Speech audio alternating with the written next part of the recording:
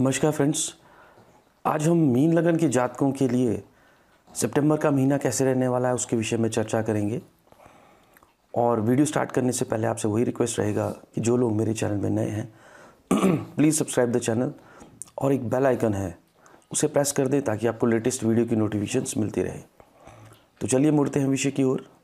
विषय है मीन लग्न, सितंबर का महीना और राशिफल, कि क्या कुछ मीन लगन वालों को जो है वो सितंबर के महीने में मिलने वाला है।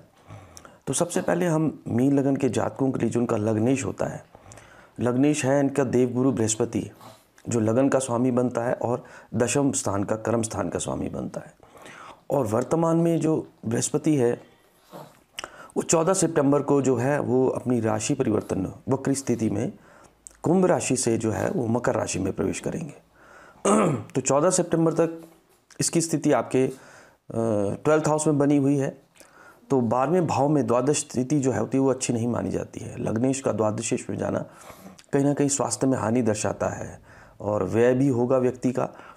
तो व्यय के जो आयाम हो सकते हैं, वो आपका धन का व्यय हो सकता है और आपके शारीरिक जो क्षय है मतलब कि स्वास्थ्य की हानि भी हो सकती है।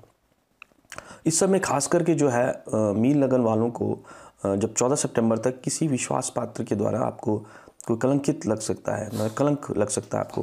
हम्म, कोई आपको धोखा दे सकता है आपका विश्वास पात्र और शारीरिक अस्वस्थ रह सकता है जैसे मैं आपको कहा। यात्रा में कष्ट और व्यर्थ धन का व्यय इस समय ये दिखला रहा है। जब तक बृहस्पति चौदह सितंबर तक आपके द्वादश भाव में है। चौदह के बाद स्थिति में कुछ राहत मिलने वाली है। चौदह के बाद देवगुरु बृहस्पति आपके एकादश भाव में पहुँच जाएँगे तो यहाँ आपको ये धन धान्य में वृद्धि करते हुए नज़र आएँगे। और धन धान्य का मतलब होता है प्रॉस्पेरिटी समृद्धि जो होता है, वो किसी न किसी रूप में आपको मिलती हुई नज़र आएगी। आपको समस्त कार्यों में सफलता इस समय मिलेगी। आपका हर कार्य जो है, वो सफल होता हुआ नज़र आएगा। आप विवाह की बात कर लें, जिन तब जो सिंगल्स हैं बच्चे, उनका विवाह का समय बनता हुआ नज़र आ रहा है। और संतान प्राप्ति का योग भी समय बना हुआ है।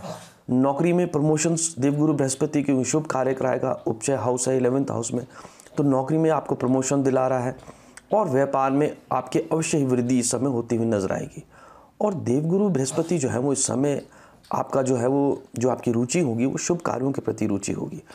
शुभ कार्यों में आपका पैसा खर्च होगा और शुभ कार्यों के प्रति आप प्रवृत्त होते हुए नज़र आएँगे। शुभ कार्यों में आप धर्म के प्रति आपकी आस्था होगी और किसी न किसी रूप से तीर्थ स्थान हो गया, तीर्थ व्रत हो गया, या धर्म को मतलब किसी न किसी रूप में मानते हुए समय नज़र आएँगे। और नवम दृष्टि जो है, वो बृहस्पति की आपके सेवन्थ हाउस में पड़ेगी।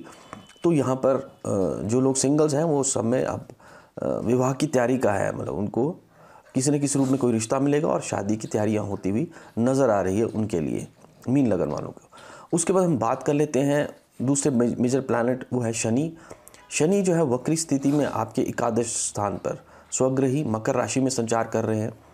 और अभी जो स्थिति थोड़ी सी चेंज होगी क्योंकि यहाँ पर इसको देवगुरु बृहस्पति का साथ भी मिलेगा। तो एकादश में वक्री स्थिति में गुरु के संसर्ग के आने पर जो है वो शनि महाराज जो है वो आपको स्त्री वर्ग से हो गया मतलब फीमेल नेटिव से हो गया, लोहे का काम जो करते हैं, भूमि से मशीनरीज हैवी मशीनरी का काम है, पत्थर सीमेंट कोयला हार्डवेयर का काम है या लेदर इंडस्ट्री, चमड़े का उद्योग है, इनसे लाभ दिलाता हुआ शनि आपको यहाँ पर दिखलाई देगा। और इस समय रोग से मुक्ति भी आपको मिलती हुई नज़र आएगी। पदोन्नति आपको शनि भी यहाँ पर इलेवंथ हाउस में दिलाता हुआ नज़र आ रहा है। और इस समय खास करके जो है वो आपको अपनी सबॉर्डिनेट्स का साथ मिलेगा। सबॉर्डिनेट्स में जो आपके अधीनस्थ कर्मचारी हैं, उनका आपको साथ इस समय मिलता हुआ नज़र आएगा। और संतान पक्ष के लिए और खास करके लॉन्ग प्लानिंग के लिए, क्योंकि फिफ्थ हाउस पे सैटन की आस्पेक्ट है। तो फ्यूचर के लिए जो भी प्लानिंग है, आप इस समय कर सकते हैं। तो संतान पक्ष के लिए जो तैयारी करना प्रयासरत हैं, वो उस समय अपना प्लानिंग कर सकते हैं। तो शनि भविष्य में उनको जो है, वो अच्छे रिजल्ट्स यहाँ पे देता हुआ नज़र आएगा। उसके बाद हम बात कर लेते हैं सूर्य की। सूर्य 16 सितंबर तक आपके सिक्स हाउस में स्वग्रही अपनी सिंह राशि में संचार करेंगे। तो यहाँ पर सिक्स हाउस में आपका कार्य सिद्धि का समय होता है। जब सिक्स हाउस में आपका सूर्य जाता है तो यहाँ कार्य सिद्धि होगी। आपको सुखों की प्राप्ति की ओर इशारा कर रहा है सूर्य। शत्रुओं पर आप विजय प्राप्त करते हुए नज़र आएँगे। रोग पर भी आप जो है रोगों का नाश होता हुआ नज़र आएगा और किसी राज्य अधिकारी से आपको लाभ मिलता हुआ नज़र आएगा और आपके निज प्रताप में वृद्धि होती हुई नज़र आएगी। मतलब आपकी जो है वो जो और है या आपका जो प्रताप है या जो आपकी एक और इमेज है, उसमें बहुत ज़्यादा जो आपको बढ़ोतरी होती हुई नज़र आएगी यहाँ पर। सोलह के बाद आपका जो है सूर्य महाराज जो है, वो आपके सिक्स सेवन्थ हाउस में ट्रेवल करेंगे, सोलह सितंबर के बाद, संक्रांत के बाद। तो यहाँ पर सप्तम भाव में गया हुआ सूर्य कहीं ना कहीं दाम्पत्य सुख में वैमनस से क्रिएट करता है। तो दाम्पत्य जीवन में कहीं ना कहीं कलह क्लेश की स्थिति बनती हुई नज़र आएगी और खासकर इस समय आप अपनी वाइफ की हेल्थ का ध्यान रखें क्योंकि सेहत उनकी खराब होती हुई नज़र आ रही है। और व्यवसाय में भी कहीं ना कहीं सूर्य किसी न किसी रूप में बाधा क्रिएट करता हुआ नज़र आएगा। और यात्राएँ अगर आप करती हैं तो कष्टकारी आपकी यात्राएँ इस समय रहने वाली हैं। तो कुल मिलाकर कहें तो यहाँ पर सावधानी बरतने का समय है, क्योंकि सिर में भी यहाँ पे आपको पीड़ा दिलाएगा।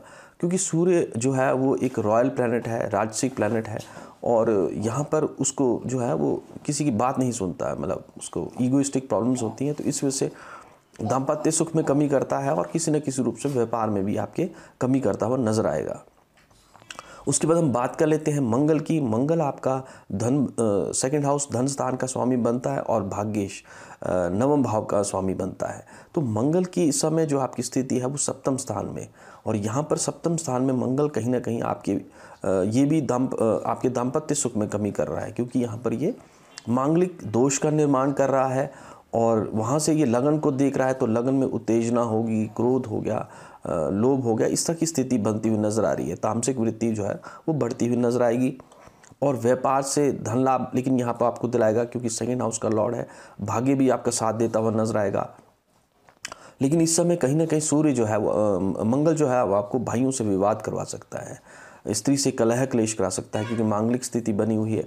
और भाग्येश जो है नवीन्थ हाउस का लॉर्ड केंद्र में जाने से जो है, वो आप भाग्य के द्वारा जो है, धन अर्जन करते हुए नज़र आएँगे। आपको लाभ मिलेगा, चाहे वो भूमि मकान का लाभ है, क्योंकि रियल इस्टेट इन सभी चीज़ों को मंगल रिप्रेजेंट करता है।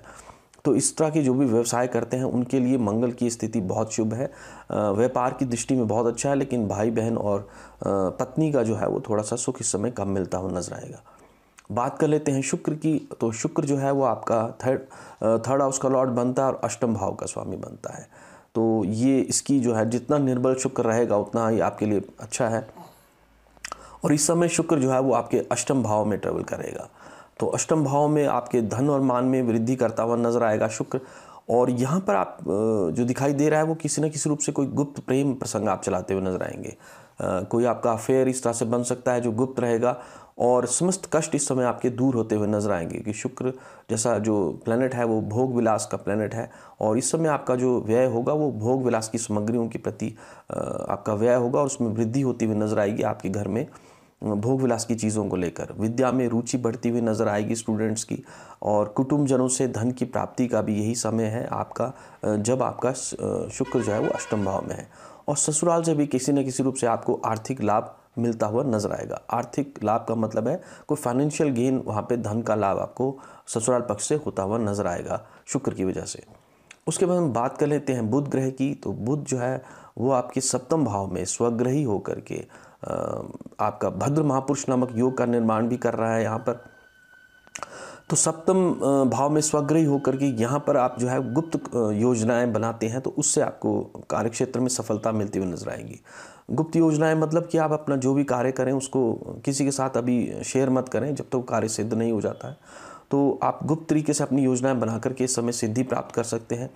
लेकिन बुद्ध जैसा चंचल ग्रह है, जब आपका सप्तम भाव में आता है तो स्वभाव में कहीं ना कहीं आपके चंचलता या अस्थिरता का भी दिखला रहा है। ठीक है? और इस समय आपको सुंदर हो गया और सुशील पति पत्नी का सुख प्राप्त होता हुआ नज़र आएगा। मतलब जो विवाह की जिनको उम्र है विवाह होने वाला है तो इस समय आपके मीन लगन वालों को सुंदर स्त्री और सुंदर पति मिलने की संभावना मिलती हुई नज़र आ रही है। विवाह के बाद भाग्य उदय का समय है। यहाँ पर आपका मकान, वाहन और इस तरह की जितनी भी रियल इस्टेट से रिलेटेड चीज़ें इसका सुख आपको बुद्ध दिलाता हुआ नज़र आएगा। लेकिन थोड़ा सा यहाँ पर सेवन्थ हाउस में गया हुआ बुद्ध जो है वो पारिवारिक और गृहस्थ जीवन में कठिनाई कई बार देते हुए नज़र आता है। क्योंकि वैसे भी वहाँ पर मंगल और सूर्य जैसे क्रूर ग्रह आपके सप्तम भाव में बैठे हुए हैं तो बुद्ध के भी वहाँ जाने पर जो है वो गृहस्थ जीवन में थोड़ा सा कष्ट कलेश दिखाई दे रहा है। उसके बाद हम बात कर लेते हैं छायाग्रह राहु और केतु की। राहु आपके थर्ड हाउस में ट्रेवल कर रहा है तो थर्ड हाउस में राहु कहीं ना कहीं आपको नज़र हो गया जादू टोना हो गया। इस तरह की जो पैरानॉर्मल चीज़ें हैं वो आपके साथ होती हुई नज़र आएँगी इस समय आपको। थर्ड हाउस में राहु जो है वो गया हुआ है, नज़र लगती है वहाँ से।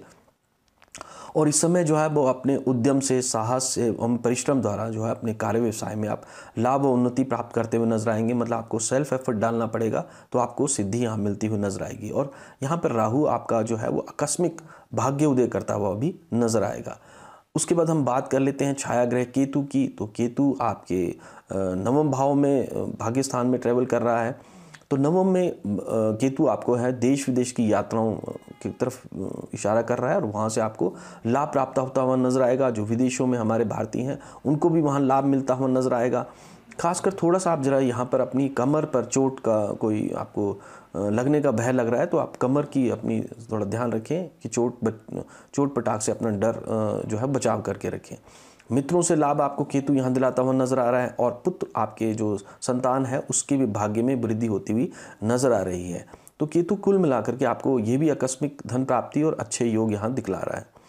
तो इस समय मोटे तौर पर मीन लगन वालों के लिए जो है वो दाम्पत्य सुख में थोड़ी कमी दर्शा रहा है। बाकी धन, मान, सम्मान हो गया, आपकी पदोन्नति होगी। बाकी सभी चीज़ें आपको मीन लगन वालों को सितंबर का महीना देता हुआ नज़र आएगा। तो उम्मीद करता हूँ ये वीडियो आपको अच्छा लगा होगा। If you like the video please subscribe the channel thanks for watching the video